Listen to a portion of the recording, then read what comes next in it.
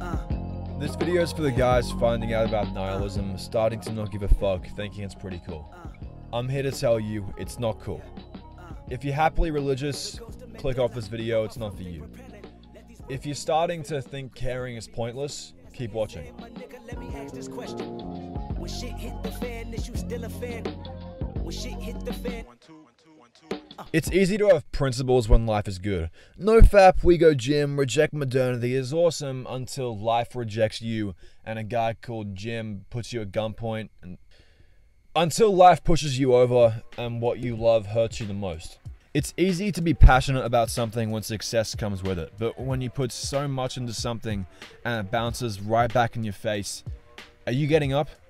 You may be wondering why I'm thinking this. Did he go through a breakup, get his heart broken? Eh, no. This is over an exam grade. Do you know how they mark an English test? Do you know how they grade that shit? It's it's nonsense. They pull the mark out of their ass and they smoke it.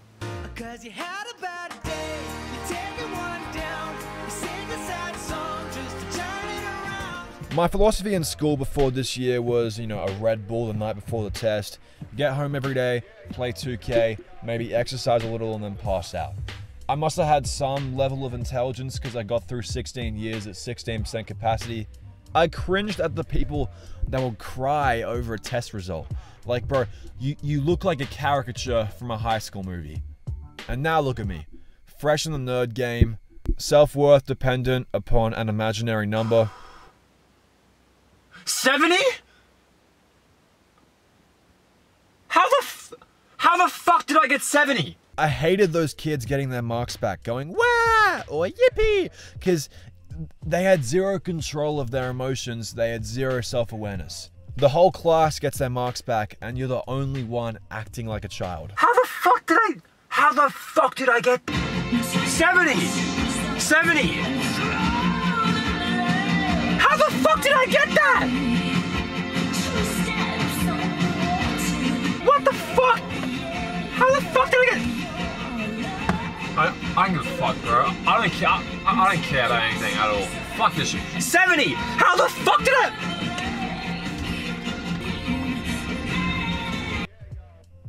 This is something I've learned late in life because I've run away from caring a lot.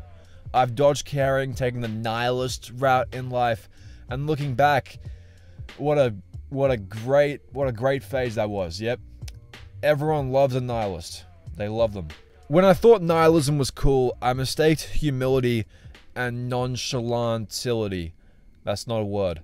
That's that's not a word.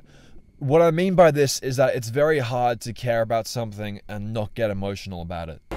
Um, sir, you can't film and drive at the same time. Officer, officer, I got 70. I don't care. Oh, shit. People that don't give a fuck about anything. Like at all. a voice doing a voice hurts my throat. Uh are, are cool because we mistake them for being humble. We think the Bruce Shutbacks of the world are composed, but they're not.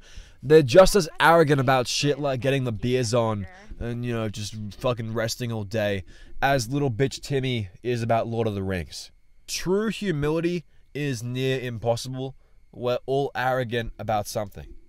And when what you're arrogant about or what you love stabs you in the kidney, nihilism is pretty tempting. 70! 70! Man, every time I'm driving on this road, because I'm always leaving the, the this court late at night, I, I, I always think a zombie is gonna pop out. And this is the first time ever I actually hope it bites me.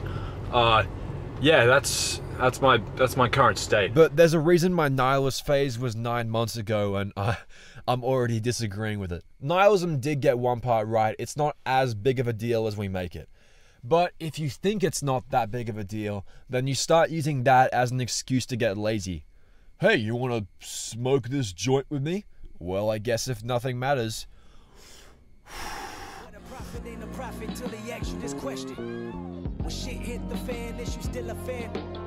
When shit hit the fan, is you still The main pro of nihilism is, well, at least from my experience, you pretty much lose the concept of social anxiety. You once you start thinking in the mindset of, oh, I'm a bipedal animal making noises with its eating hole, you sort of lose the fear of talking to people. You can do whatever you want. God, mate, what may not have existed? For a neurotic kid like me back then, I'm saying back then like it was. For, for, a neurotic kid like me back then, that was really useful and really addicting. You lose all shame, which sounds cool, but it's not. You have to work to get confidence and get confidence through through a self-aware route. You're sort of cheating in this way. You're sort of using X-ray auto aim hacks. You're like that guy in the Minecraft server that used hacks to get diamonds. I mean, yeah, you got it, but no one respects you for it. Extending from the pro, you no longer have shame, which means you're no longer ashamed to bark at people in public. You start thinking you're better than everybody because you see right through them. You're living a lie. You- You're like Homer making fun of Ned for being a Christian when Ned's fucking buff and he has a cool ass mustache. One of the biggest delusions in- the world, which I've fallen for a few times and is especially apparent in nihilism, is you're adopting this new viewpoint and you think, you see the truth! Everyone else is wrong! I found the light! Nihilism is nihilism is very easy to make you think you're smarter than everybody and I, I, I was out of curiosity i was searching up this next point on the internet and i found this little conversation surrounded by stupidity at every level that's sort of what i'm saying here. Would you believe that believing everything is pointless would make you depressed? What? Who would have anticipated that? You think everything is gray you don't care about anything and what the fuck? Nothing's making me happy. This is weird. It's it's very easy to, to become dictated by your emotions in that way. It's it, it, it's not good. I think in shitty times we try to stop caring because that's the easiest way out of the pain. I'm probably pissing off a few versions of myself here, but I think it's okay to care. Just take a few deep breaths when shit hits the fan, and you're probably gonna be alright. 70!